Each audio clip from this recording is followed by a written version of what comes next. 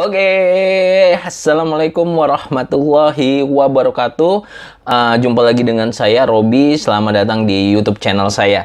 Nah, pembahasan kali ini saya akan coba membahas buat teman-teman pengolah jurnal, yaitu uh, bagaimana sih cara memasukkan jurnal Anda ke dalam situs Garuda uh, ristekbrin.go.id gitu ya. Itu penting ketika teman-teman ingin melakukan akreditasi uh, jurnal karena di websitenya jurnal tersebut pertama kali kita ingin menambahkan jurnal harus ada EISN yang terkoneksi atau yang terhubung dengan situs Garuda. Kalau misalnya jurnal Anda tidak masuk ke dalam situs Garuda, itu Anda belum bisa untuk melakukan akreditasi. Nah, sebelum lebih lanjut saya akan bahas. Jangan lupa untuk mensubscribe YouTube channel saya, share, like, dan komen, serta memfollow Instagram saya Robiulendra. Yuk kita bahas uh, bagaimana cara memasukkan jurnal ke situs Garuda.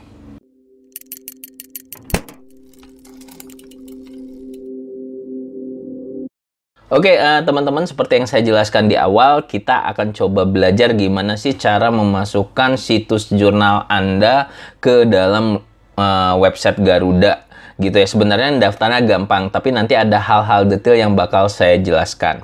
Oke, kita langsung masuk ke layar monitor atau layar laptop kita. Uh, buka aja Google, teman-teman ketik Garuda Ristek Dikti. Kalau dulu Ristek Dikti ya.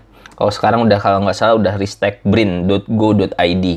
Kenapa kita cari di Google agar ketika perubahan domain kita tidak terlalu jauh atau mencari-cari.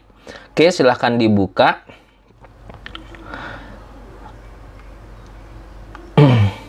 Oke, ini dia situs Garuda. Sebenarnya situs Garuda itu tempat untuk mencari paper, artikel, dan seterusnya sih sebenarnya.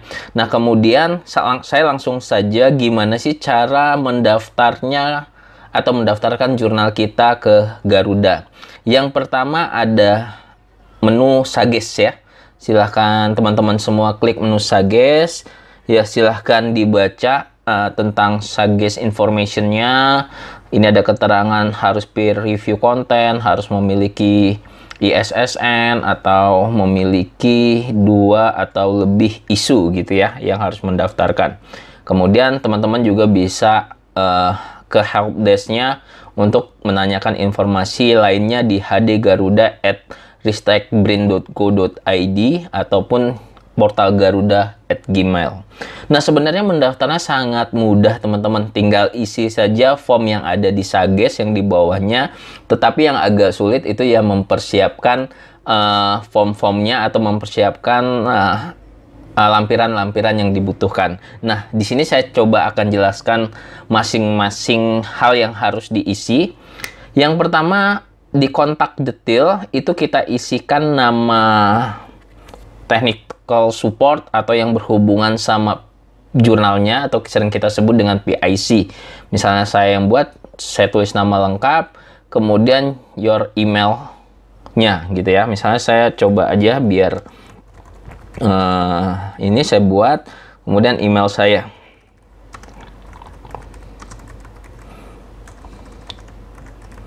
Oke kemudian institusi atau kompaninya atau itu kita buat aja nama universitas tempat kita bernaung.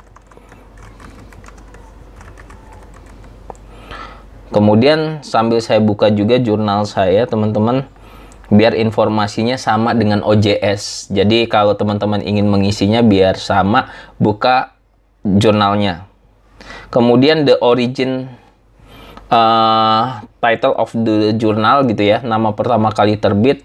Ya udah kita buat aja, kita lihat OJS-nya. Oh, nama jurnalnya ini misalnya Explore Jurnal Sistem Informasi dan Telematika. Pastikan sama persis yang ada di OJS. Nah, teman-teman silahkan masukkan ini. Kemudian title of the journal juga seperti ini. Kemudian kita langsung bisa masukkan DOI. Jadi kalau kita ingin mengaktifkan Garuda, kita harus memiliki DOI. Nah, DOI-nya boleh papernya atau masing-masing paper. Ini saya copy aja. Kebetulan ini udah ada DOI-nya. Saya paste. Gitu ya. Kemudian jurnal type jenis jurnalnya apa? Jurnal atau conference? Jurnal. ISSN itu yang ya, International Standard Serial Number ini yang print versi printnya. Itu ya. Versi printnya kalau yang EISN seri yang elektroniknya. Saya masukin tanpa menggunakan tanda dash ya atau min ya. 2062 ini contoh saja teman-teman 2686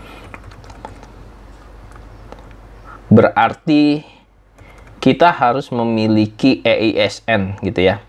Publishernya misalnya publisher jurnalnya siapa? Misalnya Universitas Bandar Lampung.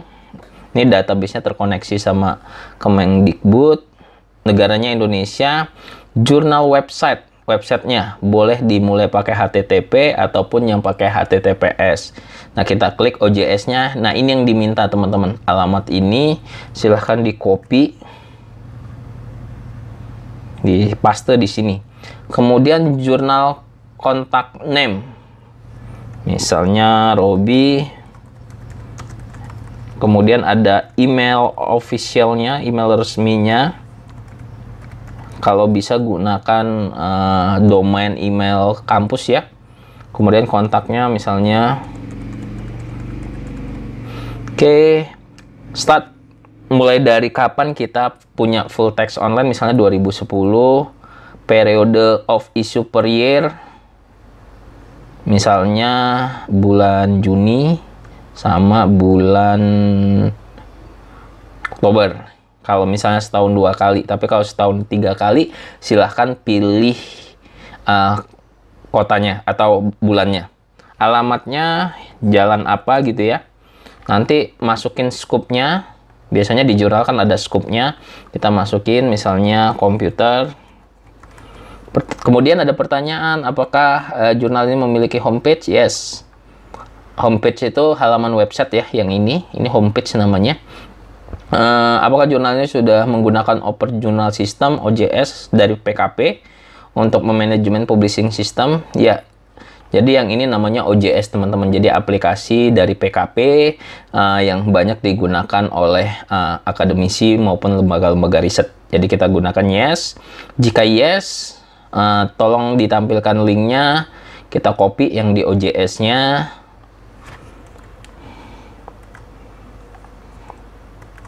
ini dia. Uh, jika kita open access please uh, kasih contoh untuk akses ke full textnya. Jadi kalau misalnya open access ya kita klik, aja link yang bisa downloadnya. Misalnya contoh uh, untuk terbitan ini saya copy link aja. Klikan aja di PDF copy link address. Paste. Kemudian uh, URL editorial board Nah, teman-teman harus rapihkan dulu OJS-nya. Jadi sebelum mendaftar ke Garuda, itu harus ditampilkan dulu editorial board-nya. Nah, nanti di video saya akan ada membahas tentang ini, gitu ya. Nah, karena saya sudah punya, saya copy aja linknya. Kemudian URL the contact. Nah, URL kontak saya juga udah ada. Kalau teman-teman masih baru, silahkan dibuat. Nah, ini kontaknya gitu ya. Selanjutnya URL. URL ini pasti harus alamat website bukan alamat rumah ya, teman-teman semua. Jadi kembali lagi kalau misalnya belum ada harus dibuat dulu. Jadi harus dirapihin dulu OJS-nya. Nah, ini dia link URL reviewernya gitu ya. Oke, kita masukin lagi. Kemudian Google Scholar-nya. Nah, kalau Google Scholar kita udah ada, kita open link aja. Enaknya di sini kita menunya sudah ada semua. Jadi teman-teman selain memiliki Google Scholar uh, pribadi sebagai dosen ataupun peneliti harus memiliki Google Scholar untuk jurnalnya. Jadi silahkan dibuat. Nanti saya akan coba jelaskan untuk pembuatan Google Scholar. Gampang banget kok.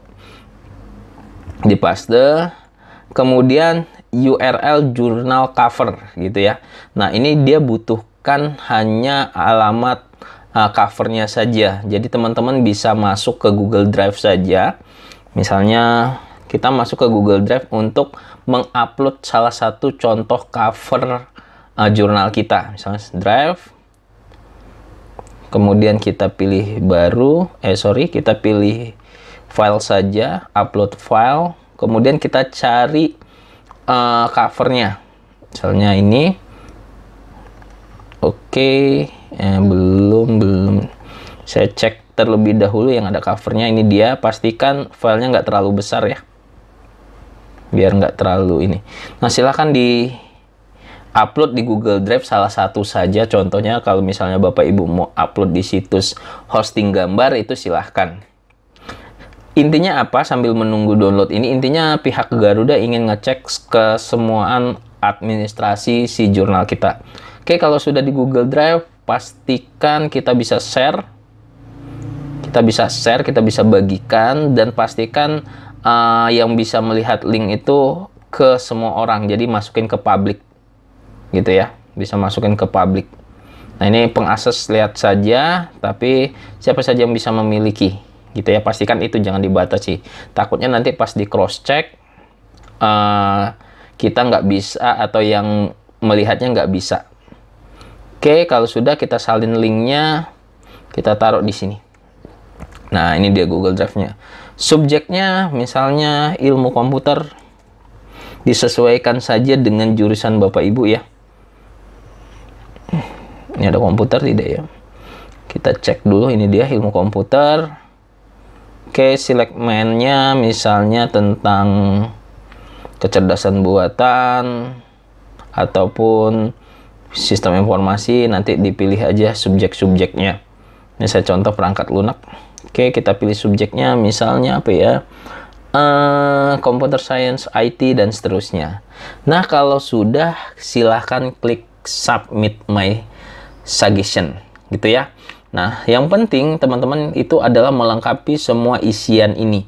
Isian ini harus dilengkapi dengan desain-desain yang ada di OJS-nya. Jadi intinya OJS-nya yang harus di, dirapihkan. Nah, kemudian tampilannya gimana?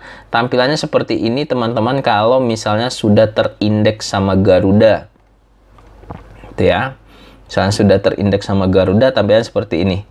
Nah, ini link yang bakalan masuk ke sini. Kalau bisa covernya uh, yang jelas ya, yang resolusinya bagus. Kemudian ini ada statistiknya, ada penulis-penulisnya segala macam, ada kontak dan seterusnya. Gitu ya. Nah, nanti kalau sudah terkoneksi sama uh, Garuda, ketika mau akreditasi di Arjuna, oke, okay, saya lihatkan sedikit ya saya lihatkan sedikit tentang Arjunanya. Arjuna ini adalah satu situs untuk akreditasi. Emang agak situsnya agak lama mungkin lagi overload. Nah ini kita masukkan. Saya sudah pernah mendaftar. Oke, di sini ketika kita ingin mendaftarkan terbitan atau jurnal baru, tambahan jurnal, Nah, ini kalian uh, teman-teman semua akan terblok di sini. Jadi dia minta EISN Jurnal Garuda. Berarti uh, jurnal yang ada di sini EISN-nya kita masukin. Itu ya. Nah, ini karena sudah daftar mungkin sudah masuk. Saya coba aja, pasti gagal. Bisa nggak ya? Nah, ini muncul datanya seperti ini. Nah, ini yang bakalan bisa terakreditasi atau bakal memenuhi syarat terakreditasi. Oke, mungkin itu aja teman-teman semua pengelola jurnal ataupun teman-teman yang lain yang masih mencari gimana sih cara mendaftar atau memasukkan jurnal ke dalam uh, situs Garuda. Kita ketemu lagi di video-video selanjutnya. Semoga bermanfaat dan jangan lupa untuk mensubscribe YouTube channel saya, share, like, dan komen serta follow Instagram saya juga @robiulendra. Kita ketemu lagi di video-video selanjutnya. Assalamualaikum warahmatullahi wabarakatuh. Bye bye.